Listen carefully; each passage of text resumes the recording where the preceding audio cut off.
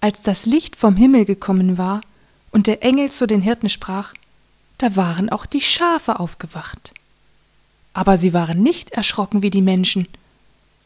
Gott hat auch die Tiere lieb, und wenn sie auch nicht sprechen können, so spüren sie es doch. Sie spüren es ja auch, wenn die Menschen freundlich zu ihnen sind. So hatten sie sich alle freudig zusammengedrängt und legten sich wie ein großer Teppich still dem Engel zu Füßen.